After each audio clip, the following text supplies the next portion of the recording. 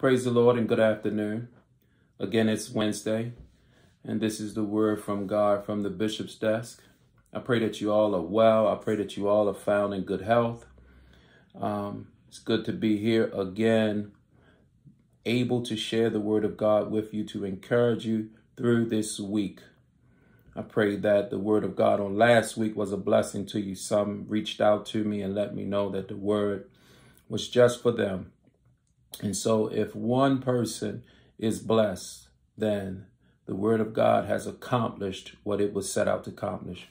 But I know that there's many more that could use the word and be blessed of the word. So I encourage you to share this word with others and your friends and, and promote uh, the bishop's desk and promote and get people to subscribe to the channel so that the word of God can can reach them as well. So I'm not going to waste too much time. We we have the latter part of Psalms 1 to complete.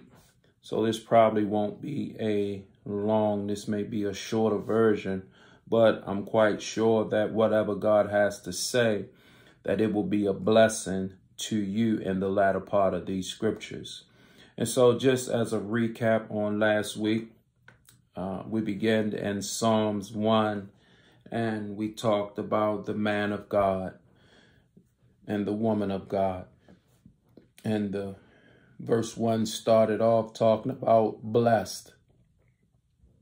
And we we found out what blessed is. Blessed again. I'll go back and just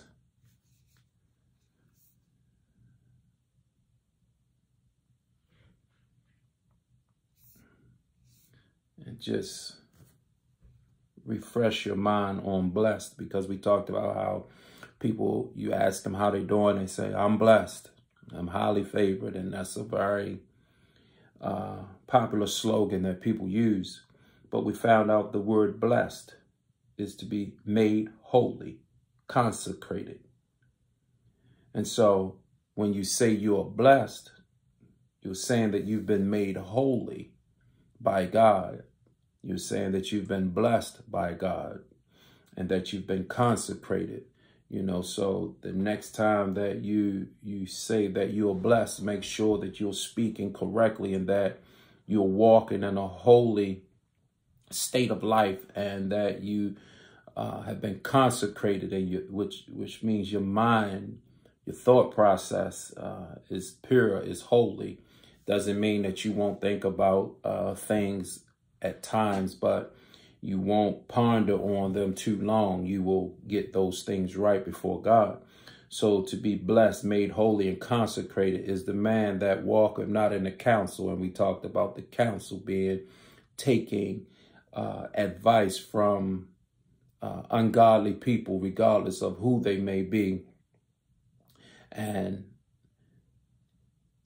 uh, walketh not in the counsel. And that this is not a physical walk, but this is just seeking out um, people that are ungodly and, and finding people having a problem, picking the phone up and calling your, your, your sinner cousin or your sinner homeboy or your sinner girlfriend and discussing matters of a blessed person. So you say you are uh, with the ungodly, uh, nor standeth in the way of sinners, just being in the congregation of sinners, you know, they, they're living their life and you're there um, claiming to be blessed, consecrated, and holy, um, making them uncomfortable because you shouldn't be there. They know you shouldn't be there. You know you shouldn't be there, but you're there anyway because your mind and your flesh.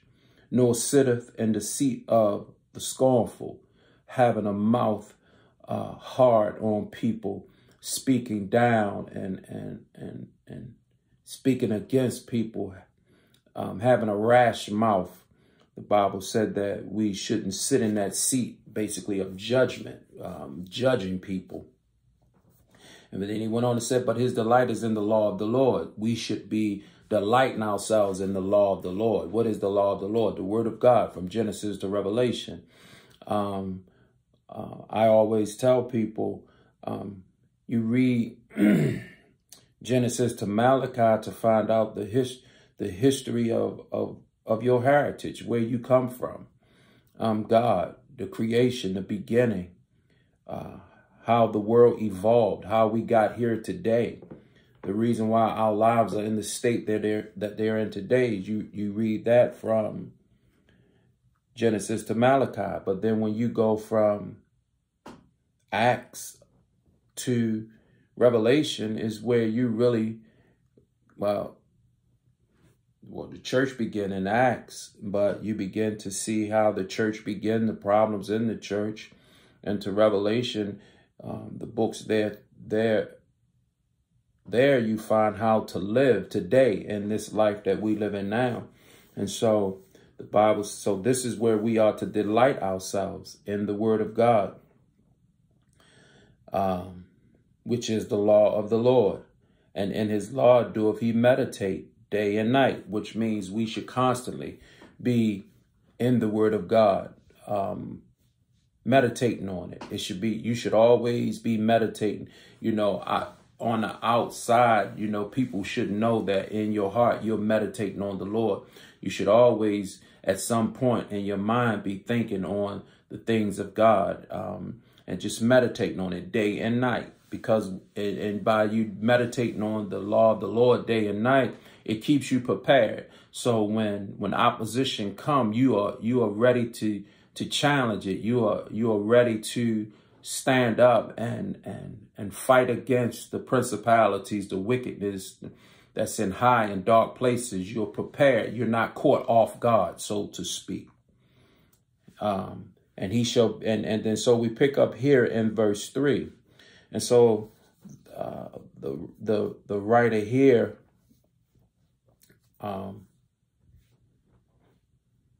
says, um, I'm not going to go back and, and, and find that, but I forgot who the writer here was in Psalms 1, but we know that um, it wasn't David, and we, we cleared that up, that a lot of the Psalms was ascribed to David, um, and we know that there were some, oh, I know there was, in Psalms 1, the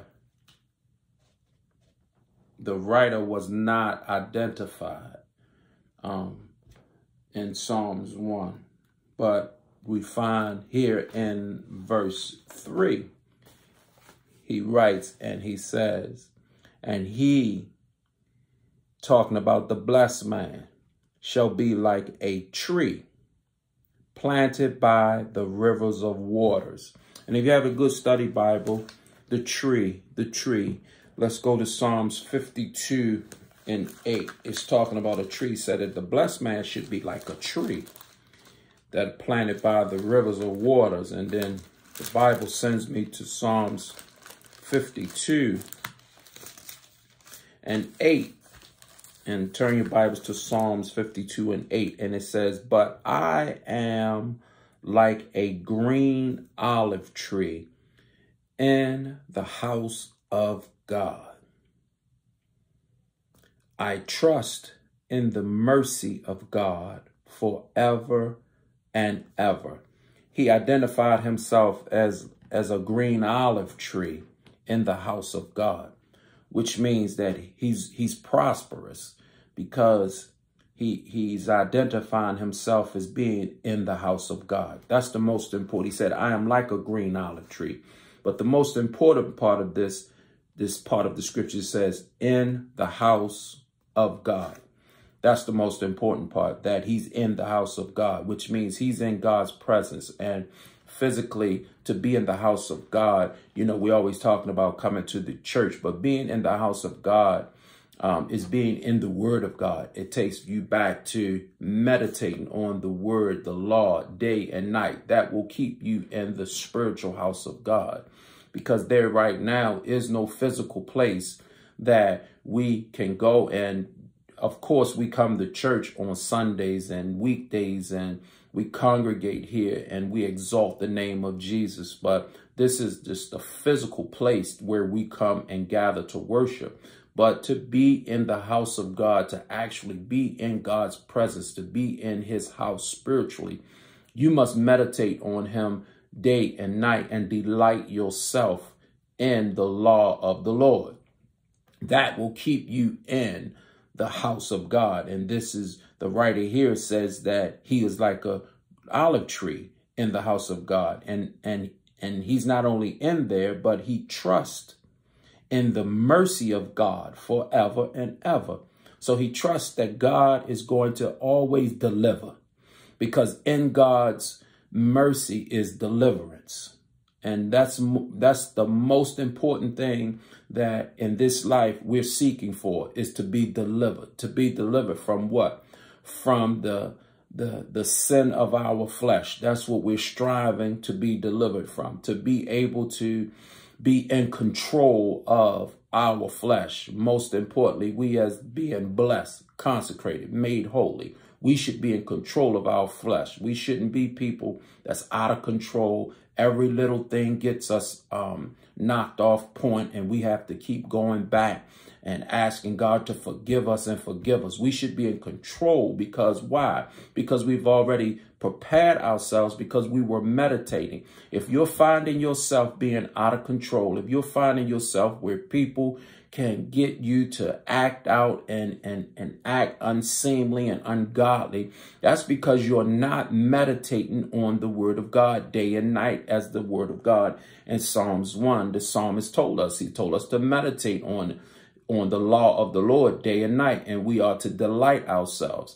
When you delight yourself in the law of the Lord, as soon as as things come, you will immediately trigger, the Spirit will trigger your mind um, to deal with this in a spiritual way and not to fly off the handle and, and to become unseemly and ungodly. That's because you're constantly meditating on God.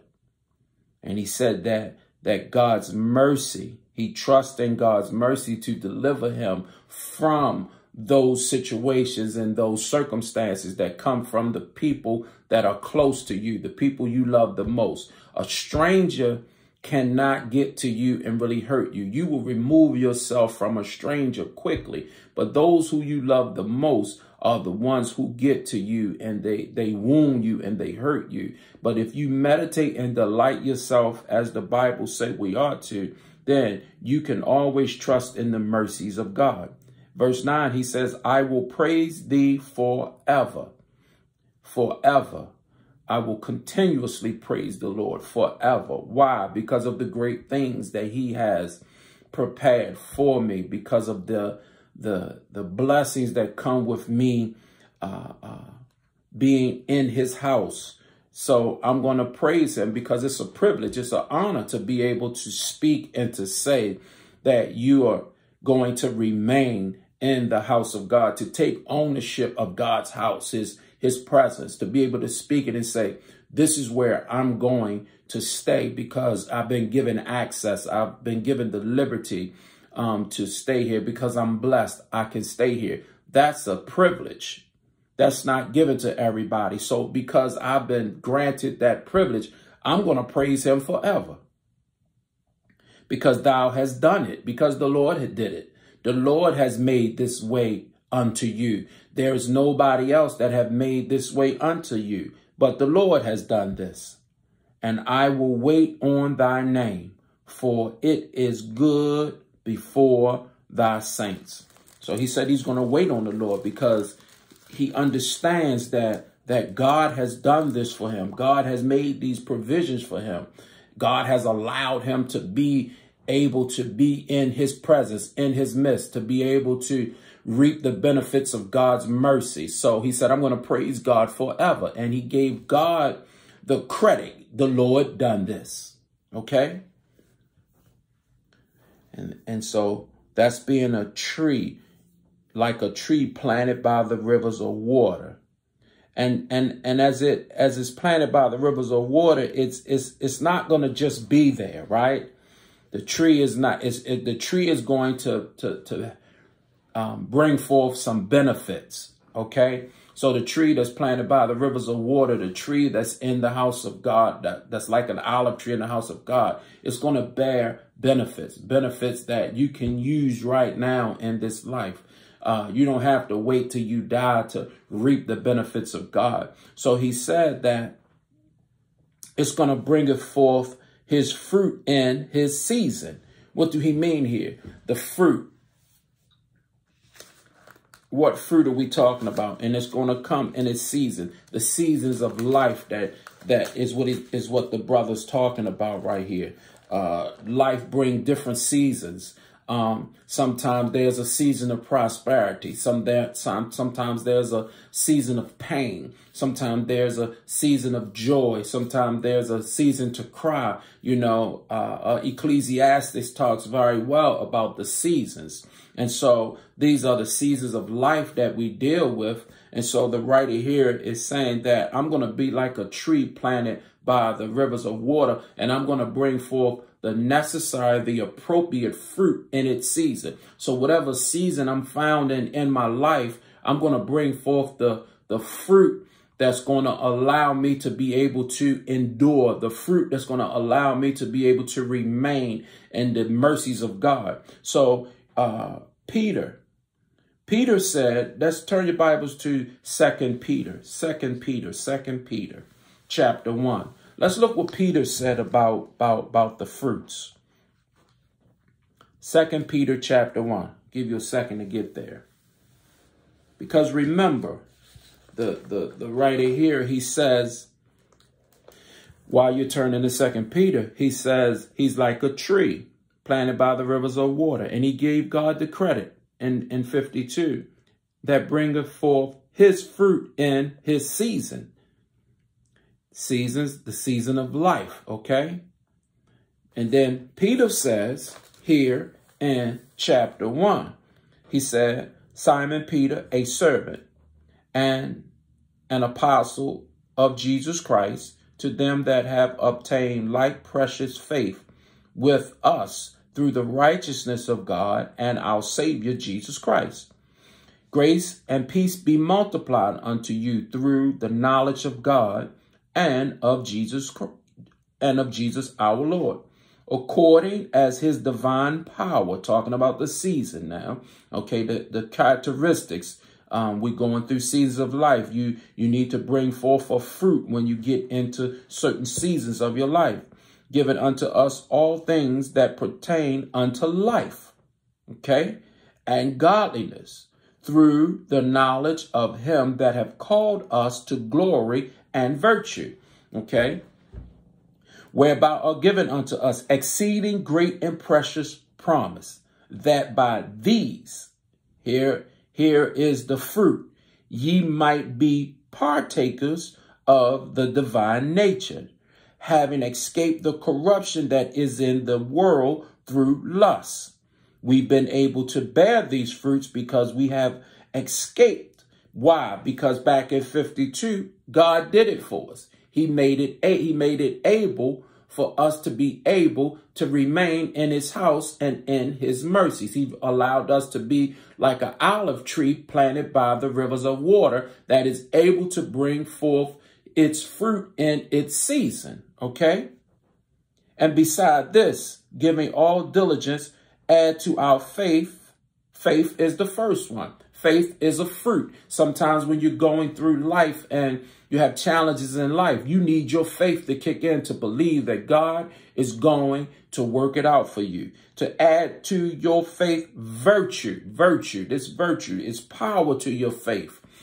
To believe, to have a strong faith because sometimes your faith will waver uh, because sometimes life will throw uh, curveballs and situations at you constantly. And so you need your faith to be strong here. And then he said to your virtue, knowledge. The knowledge, what? What knowledge? These are the characteristics uh, uh, uh, uh that the, the psalm is talking about in it, the seasons. Knowledge, knowledge, adding knowledge to your faith, being able to apply what you believe, what you don't see, but you believe, being able to apply the word of God. The word of God is the knowledge that it's talking about. These are the characteristics that, that we have gained, uh, being like an olive tree planted in the, in the house of God. And, and because these are the, the mercies that these are the characteristics that that come out of God's mercies and and temperance and and and to your temperance patience you know having self-control sometimes when you're going through self-control being able to remain silent and not say anything and allow God to work it out for you is more important than anything and patience is is great because we have to wait on God. We have to learn to wait on God. It goes back to the beginning of verse 1. Blessed is the man what? Who not sitting in the seat of the in the counsel of the ungodly, right? Or taking advice from the ungodly, or standing in the way of sinners, being waiting on God, you know, because Going back to, again, as I said, asking the ungodly and taking counsel from them, but being patient, waiting on God. This is what comes out of being like a tree planted in the house of God. You will gain these attributes because the mercies of God will give these attributes to you. These are in the mercies of God. As God mercy comes upon your life, it's just not there to allow you to get through. God's mercy will, will come and make a way for you. And at the same time will apply what you need so you can be like a tree planted by the rivers of water, bringing forth its fruit, whatever season that your life is in. Being uh, godliness, just that's just the the way you ought to be godly at all time, regardless of what season. We should always be godly. Godly. What is godly? God-like. Okay? What would God do? This takes us back, godly takes us back to meditating on the word day and night. Brotherly kindness, being kind to one another. Charity. What is charity? Love. So these are the characteristics and the attributes that that's going to come out of us being like a tree planted by the rivers of water. And these are the fruits that we're going to bring forth in our seasons, the, the seasons, again, the, the different situations that approach us in our life. And it says, his leaf also, I'm sorry, back to um, Psalms 1. Uh, he said, his leaf also shall not wither. Again, let's go back to 53 and 31. Psalms 53 and 31. He said, His leaf shall also not wither. No, I'm sorry, Psalms 52 and 8. He said, His leaf also shall not wither. That's forever. So he said here in Psalm 52, I will praise thee forever because thou hast done it. And I will wait on thy name, for it is good before thy saints. I will praise thee forever. His, his leaf will never wither. Why?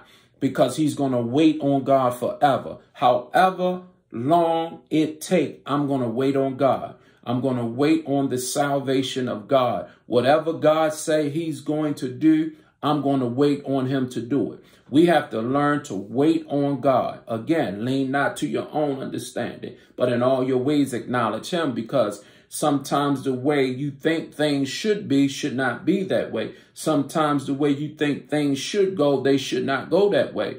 But if you wait on God, lean not to your own understanding, but acknowledge God. If you're not sure, ask God. See, a lot of us, we will not ask God. We think that serving God is complicated and we think that serving God is just for the priests and the preachers. No, serving God is for everyone. Serving God is just like a normal relationship. When you're in a normal relationship, you ask questions when you don't ask. We, but we want to ask everybody else who don't have a relationship with God. We want to talk to people about our most sacred parts of our life and, and our heart with people rather than talking to God. Because we don't see God, we don't feel like we can talk to God. But I tell you, God is very much present if you talk to him. God is very much present if you sit down and read the word of God. See, to hear back from God, you have to let God speak back to you and remain silent while you read You can't just talk to God and have this one-sided relationship and think that everything is going to be all right. That's an unhealthy relationship. You have to sit down and you have to let God speak back to you. And you have to get in the word of God and you have to meditate on it day and night. You have to get some scriptures and you have to ponder on them scriptures. You have to have them scriptures in your heart all day long. You got to think on them scriptures and God will speak to you out of the word of God. He will speak to you out of those scriptures. And then you will begin to see a, a, a relationship, a communication develop between you and God. That's how it works. It's that simple. You don't need to go to every time to a man or a woman and ask them what God said about you. God will tell you exactly what he wants to say to you right out of the word of God. The preachers are sent to confirm what God has said to you in the event you, you don't understand it. That's what the preacher's for. The preacher is not sent to tell you what God said all the time, some of the time, but you should find out what God has to say to you directly for yourself. The preacher will come and again confirm what God said to you. But he said that his leaf also shall not wither.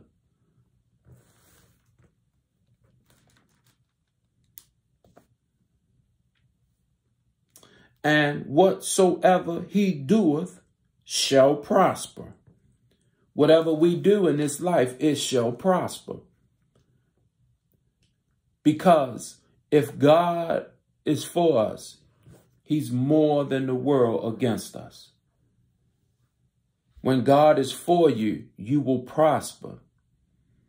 Now, prosper is not talking about in the physical sense, uh, because a lot of times people want to attach prosperity and prosper to God the wrong way. Thank you, Holy Ghost, because as I'm looking up prosper, he's sending me right back He's sending me right back to, he's connecting me right back to um, First Peter because in God, you don't attach, you don't, you don't attach uh, um, these physical things to God. But to prosper is to, is to um, gain spiritually in God.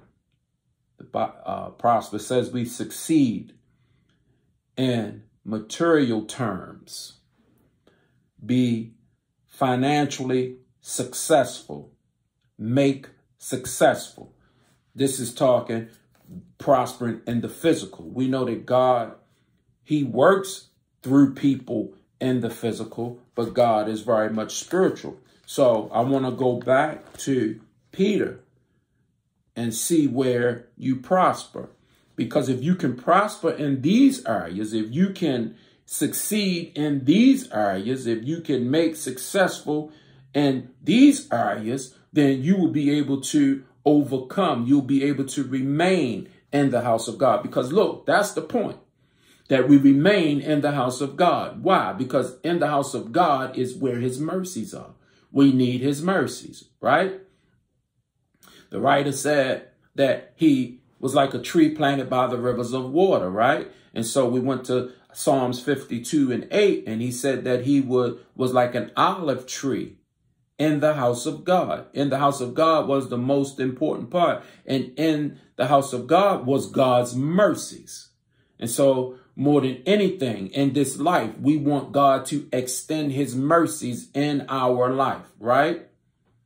But we want to be successful. Successful in what? We should prosper in everything that we do. And in order for us to prosper in everything that we do, we must have what? The, the characteristics in order to prosper. You can't prosper um, even financially. You can't prosper unless you have uh, a, a supply for the demand. Once you're able to supply the demand, then you can prosper. It's the same thing spiritually. You must have the supply because your, your flesh is going to demand certain things and you must be able to what? Supply faith. You must be able to supply virtue. You must be able to supply knowledge. You must be able to supply temperance. You must be able to supply patience. You must be able to supply godliness. You must be able to supply uh, brotherly kindness. And you must be able to supply charity which is love. You must be able to supply. And when you can supply these things to your flesh, then you're going to prosper in your life. Everything that you do in your life, you're going to prosper. Whatever season you're found in in your life, you will prosper if you have been successful in obtaining these gifts here from God. These this divine nature that God says that we should have as people of God. He said it through Peter. Peter went on in verse 11, he said, we know this. And I love this where he said, wherefore I will not be negligent to, in verse 12 and 1.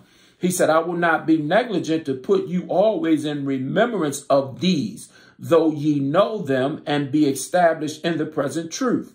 Yea, I think it's meet as long as I am in this tabernacle to stir you up by putting you in remembrance, reminding you that to prosper in God and to continue to reap God's mercy, you must abound and be prosperous in these characteristics. So I encourage you to go to First Peter chapter 1 and find and, in verse 4 through 8 and see what God say we should prosper in. And if we prosper in these things, prosper, become become successful, become be, to make successful, if we learn to succeed in those characteristics, I declare we will be able to prosper in whatsoever we do. But then the, the word of God takes a turn. It says in verse 4, drastic turn. The ungodly are not so, but are like the chaff which the wind driveth away. You see here this word chaff. Chaff is like the the the the the residue of a corn husk, the outside skin of seeds. And when the wind blow, after they fall off, they're just blown away.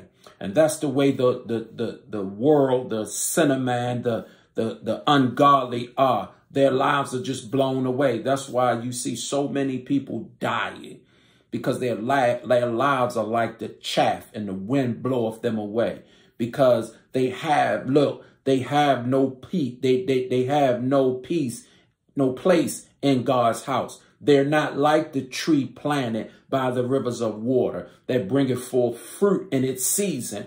Because when, when, when, when, when you go through certain seasons, as I said in your life, you will apply certain gifts. But the ungodly, because they have none of these gifts, their lives are out of control. And when your life get out of control, it's like driving a car at 100 miles an hour with bad tires on it and it's raining outside. You know what's going to happen with that. Soon as you hit the brakes, you're going to lose control and you're going to lose your life. And so as the wind come, because their life does not have these attributes that you can only get being like a tree planted by the rivers of water in God's house and, and being in the, in the way of God's mercies, they're losing their life.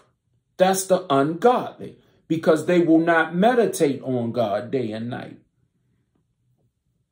Therefore, the ungodly shall stand. Therefore, the ungodly shall not stand in the judgment.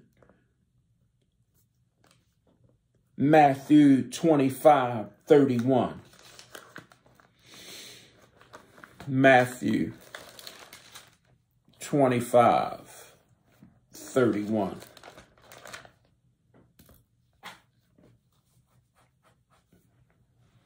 When the Son of Man shall come in his glory. This is talking about Jesus, and Jesus is prophesying here. He's telling them, He's giving revelation here. And all the holy angels with him. This is talking about the second coming of Jesus Christ. Then shall he sit upon the throne of his glory. This is why, you know, it's, it's, it's through Jesus Christ because it didn't say through God's glory. God gave the glory to Jesus. And before him shall be gathered all nations. And he shall separate them one from another. God's going to deal with the nations here. He's going to deal with every nation. He's going to deal with every nationality of people. He's going to deal with every color, every kind.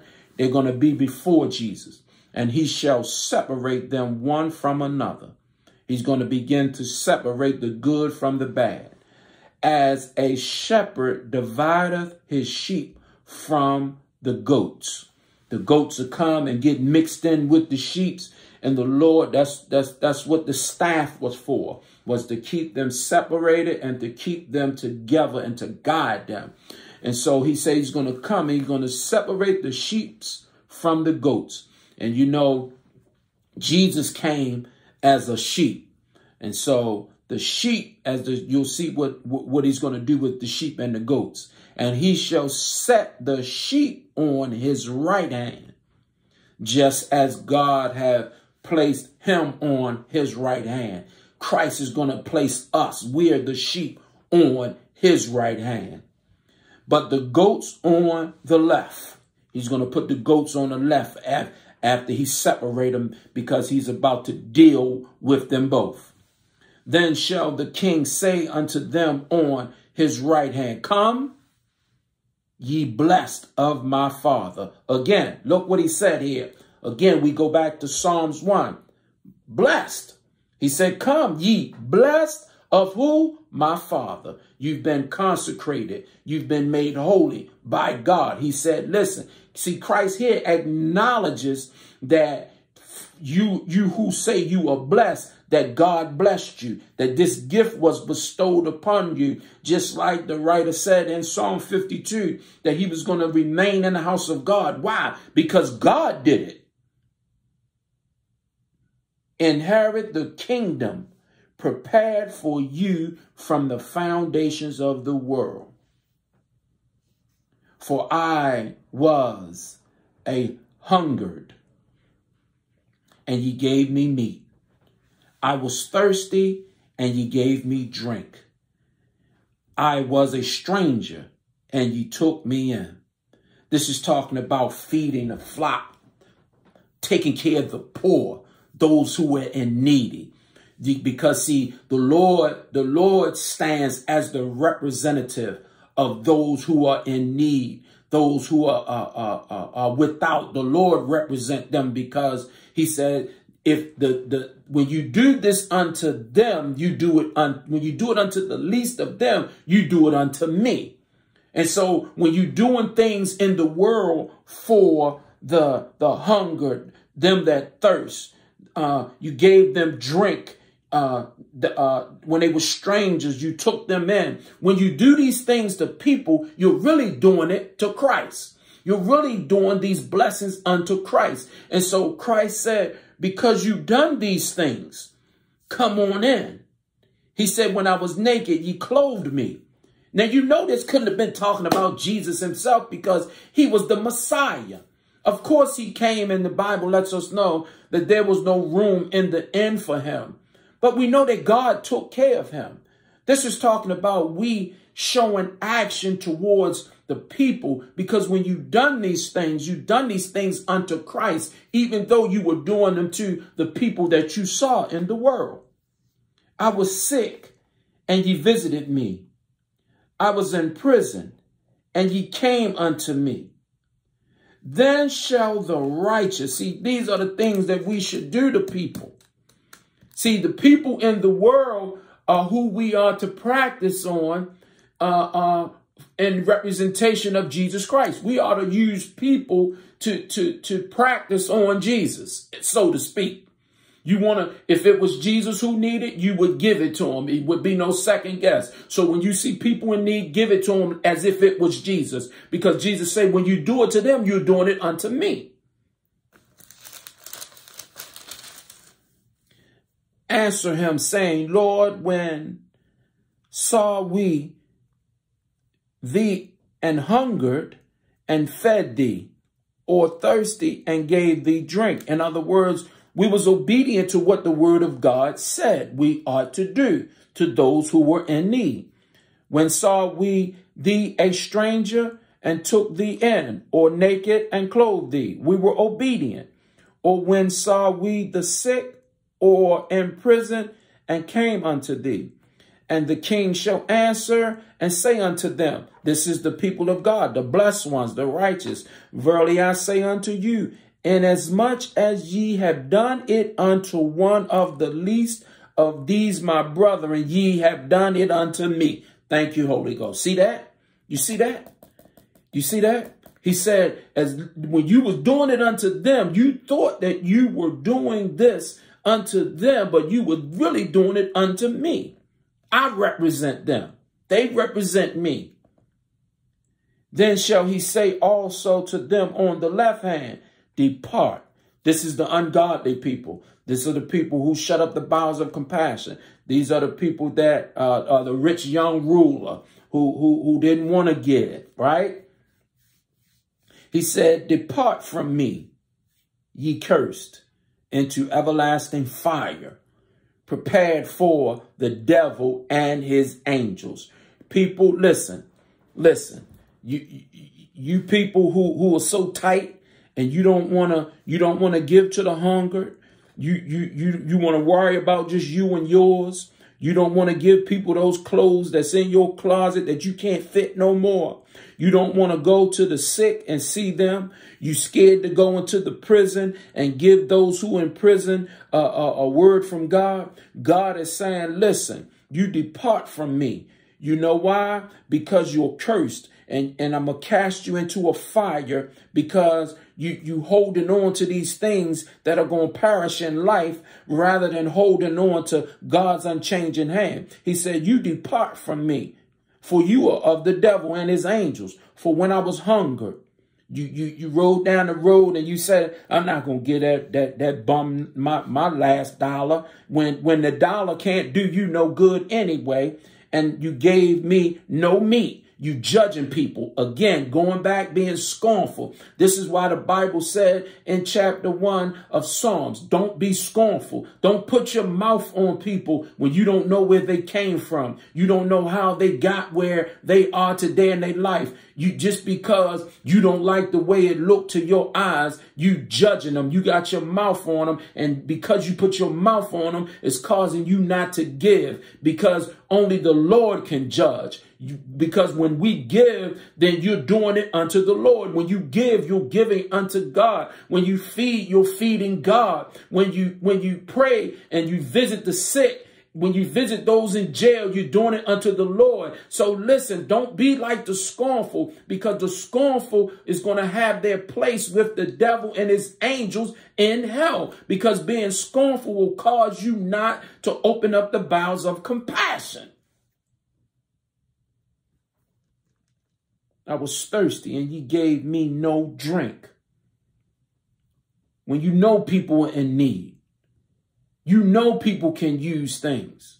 You know you have things that people need and you hold on to it because you paid for it. But let me tell you something. Remember, that which you was able to pay for, you would not have been able to pay for it if you was not like a tree planted by the rivers of water in the house of God. You would not be able to, to, to get the things that your, your finances say that you shouldn't have.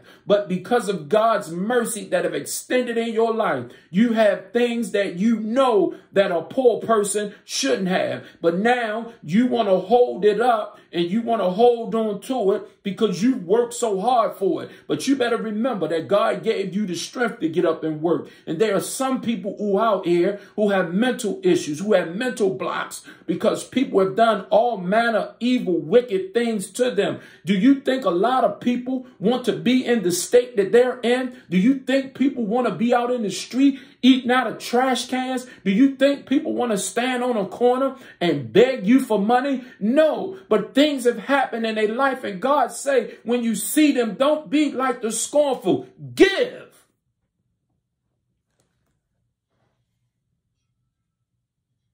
Verse 43, I was a stranger and ye took me not in, naked and ye clothed me not, sick and in prison, and ye visited me not. The goats, don't be a goat. Then shall they also answer him, saying, Lord, when saw we thee and hungered or authoress or a stranger or naked or sick or in prison and did not minister unto thee? Then shall he answer them, saying, Verily I say unto you, inasmuch as ye did it not to one of the least of these, ye did it unto me.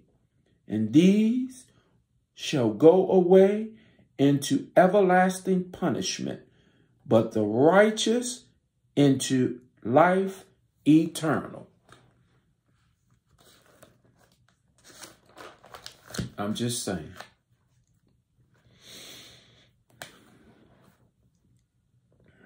That's a lot in the Word of God. We haven't even made it to verse 6.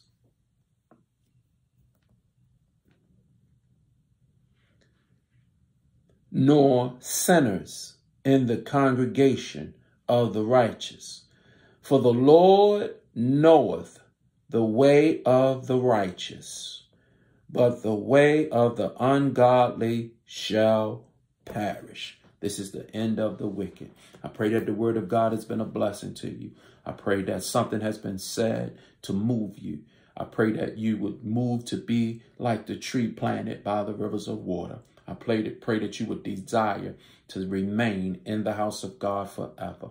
I pray that you would call yourself blessed and live as a blessed person and that you would meditate on the Lord day and night. I pray that you would not seek the counsel of the ungodly nor stand in the way of sinners. I pray that you will not sit in the seat of the scornful, but I pray that you would give to the hungered. I pray that you would visit the sick. I pray that you would visit those in prison. I pray that you would give those who are in need of shelter. I pray that if you have something to be a blessing to somebody, that you would open up your heart and that you would take on the attributes that Peter talked about in First Peter, and that you would believe that Jesus Christ will continue to bless you, and that you would take on the knowledge of God, and that you would add to your knowledge temperance and patience and godliness and charity. And I pray that you would allow these things to operate in the season that you are in your life. I pray that the word of God blessed you. And if God should tarry, I'll see you on next week. God bless you.